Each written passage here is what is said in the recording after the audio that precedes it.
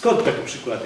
Ja akurat realizowałem w końcowej fazie y, w wodociągach rondo na lotnisku, każdy wie to przy tym, ponieważ wodociągi budowały y, Lidla, więc miasto postanowiło, musicie za to, jeżeli do Lidla chcecie dojechać, musicie pobudować jako wodociągi, co mają do dróg.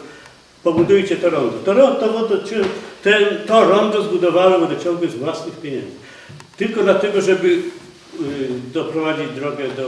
to, O czym tu chcę powiedzieć? W ramach budowy tego ronda trzeba było ogłosić przetarg, więc y, wodociągi oddały do specjalistycznej firmy, jaka firma drogowa jest przy mieście. Wiadomo, która te wszystkie drogi tu buduje. Y, Oczywiście z ramienia miasta. Więc wyznaczono nam, że to, to rondo trzeba będzie nam zapłacić 2,5 miliona. Już to resztę sobie możecie dopowiedzieć.